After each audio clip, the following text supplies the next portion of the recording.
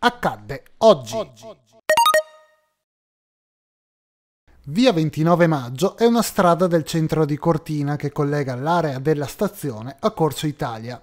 Quella data ricorda proprio il passaggio del paese sotto la bandiera tricolore dopo quattro secoli di dominio asburgico, interrotti da una brevissima parentesi napoleonica all'inizio dell'Ottocento. La data chiave è il 29 maggio 1915. Sei giorni prima il Regno d'Italia ha dichiarato guerra all'impero austro-ungarico che ha piantato la sua bandiera in Ampezzo nel 1511 strappando quel territorio alla Serenissima.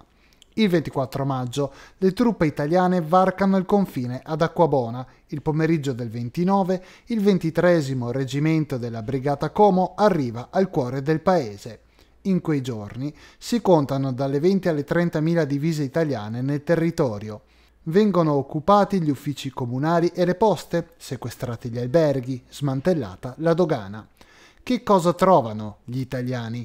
Una popolazione che ha studiato su libri italiani stampati a Vienna, documenti ufficiali in italiano, un alto grado di alfabetizzazione, istituzioni regoliere ben precedenti al periodo austro-ungarico, una forte identità ladina e uno sviluppo già orientato verso la situazione attuale.